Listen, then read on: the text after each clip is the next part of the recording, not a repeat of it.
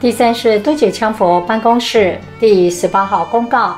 二零一一年二月三日，世界和平奖颁奖委员会正式宣布，二零一零年的世界和平奖得奖人为第三世多解羌佛和前美国国会议员、国会外交委员会主席本杰明·格尔曼先生。颁奖典礼将于四月在美国国会举行。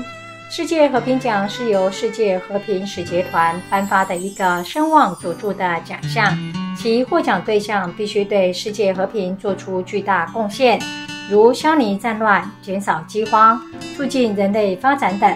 在过去的获奖人员中，有美国第四十任总统里根、菲律宾第十二任总统拉莫斯。印度尼西亚第四任总统瓦希德·塔吉克斯坦总统、蒙古总统、柬埔寨总理、汤加国王、尼日利亚总统等，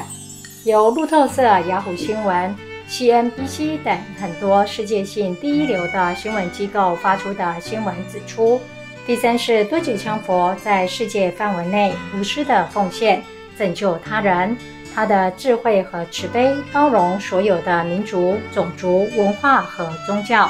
无论他走到哪里，他的谦逊和慈悲带给人们团结。第三是多杰羌佛，还是一位杰出的艺术家。通过他的教导、实践、艺术和诗词，第三是多杰羌佛为人类指出了一条非暴力、慈善和爱的光明大道。第三是多杰羌佛获得过很多奖项，包括因为对艺术、医药、道德、对佛教和精神的领导，以及对美国社会的贡献，而获得美国总统金质奖章。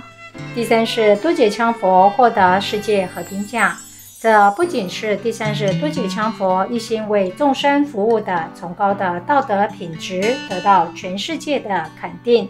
这也是我们全世界所有佛弟子的光荣，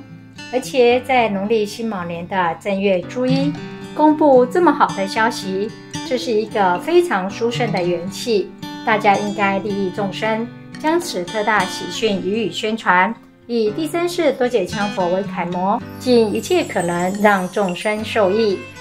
第三世多解羌佛办公室，二零一一年二月三日。